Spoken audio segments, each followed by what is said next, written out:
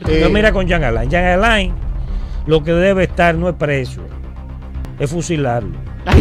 Esa es la realidad. Usted se imagina, señores, elegir para construir la cárcel La Nueva Victoria, un pantano enorme. Pero usted sabe que él mismo, ese mismo imbécil, él abre una licitación, la 0013-2018 de la PGR, para limpiar ese lodo. 1.700 millones de pesos para limpiar el lodo.